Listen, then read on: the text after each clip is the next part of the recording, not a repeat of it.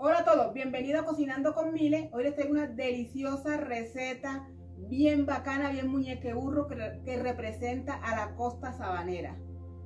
Bollo de yuca costeño. Así que vamos a empezar.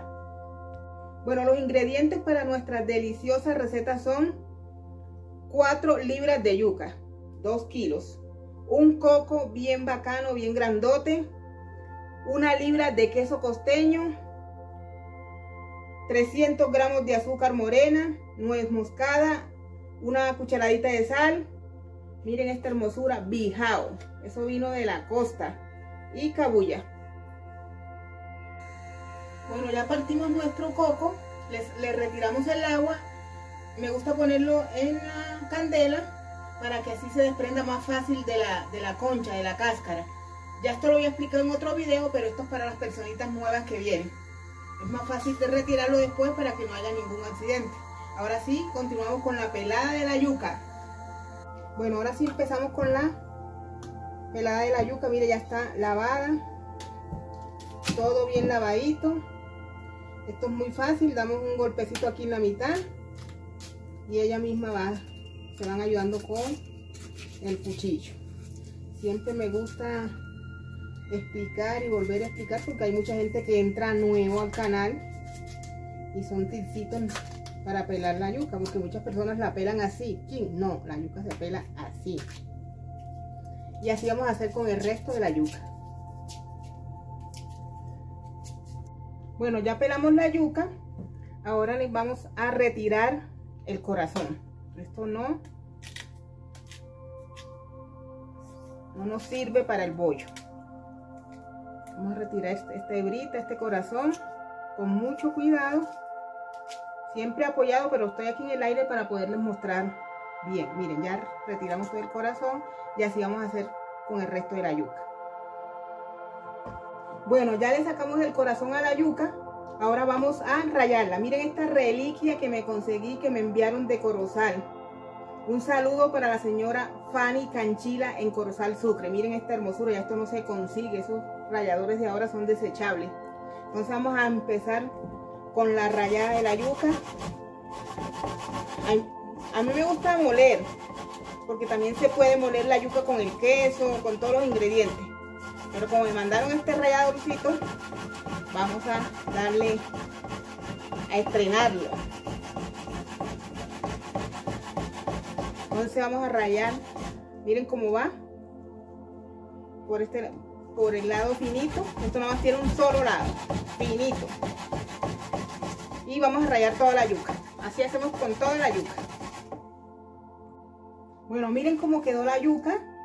Esta yuca salió sequecita, gracias a Dios.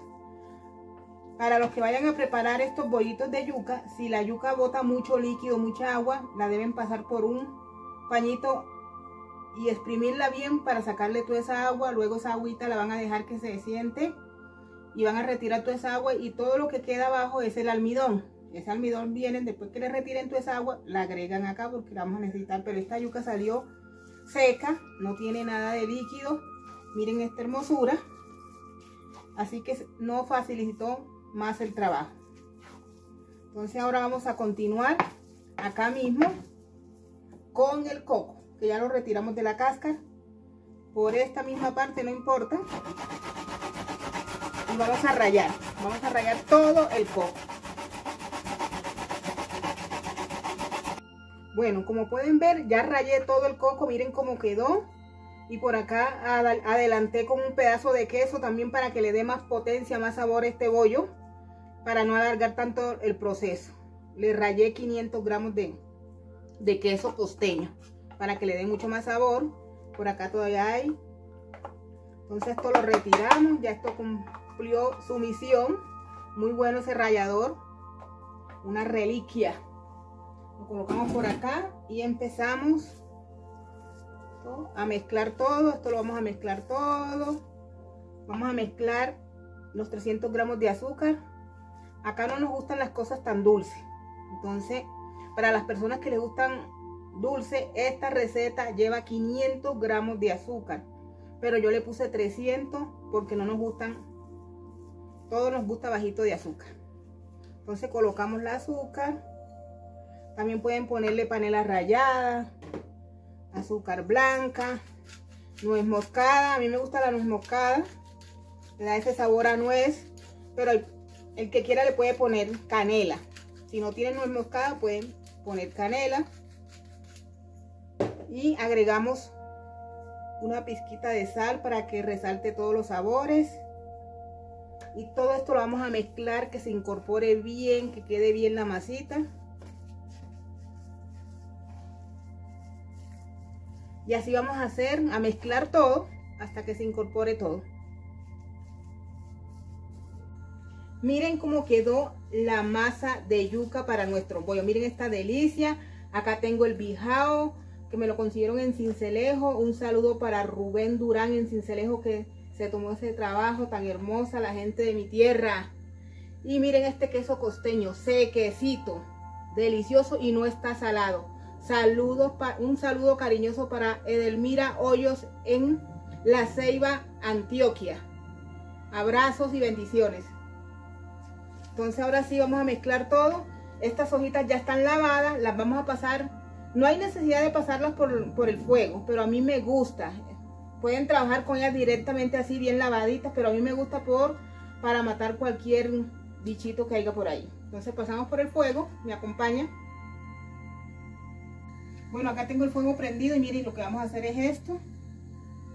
No ponerla directamente. Eso también la va a ayudar a que se ponga un poco más flexible. Esto lo hago siempre con la hoja de plátano, pero a mí me gusta esta técnica. Miren cómo va. Y ahí se seca. Y ahora sí vamos a empezar a armar los bollos. Bueno, empezamos con la armada de los bollos. Miren nuestra masa. Acá tengo el bijao que ya lo, pasé por el fuego. Miren cómo quedó más manejable. Y tengo este caldero. Es muy grande, pero es que no tengo más caldero pequeño. Le puse esta parrilla aquí de arepa para que los bollos no tengan contacto con el agua. Y en el fondo puse una moneda. Esa moneda va a empezar a bailar. Y cuando esto se quede sin agua, ella va a empezar a bailar, a moverse mucho. Entonces vamos a empezar con este bijao.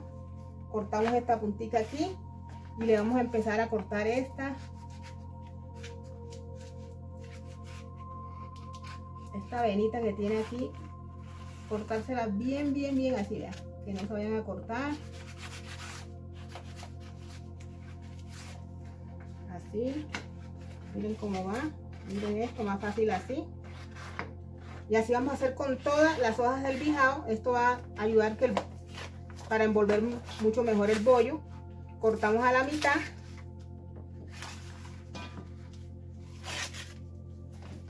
Y se me rompió la hojita, que empezar del lado de la venita. Y vamos a poner dos cucharadas de masa. Más. Vamos a colocar el pedazo de queso. Vamos a armar el bollito. Acá.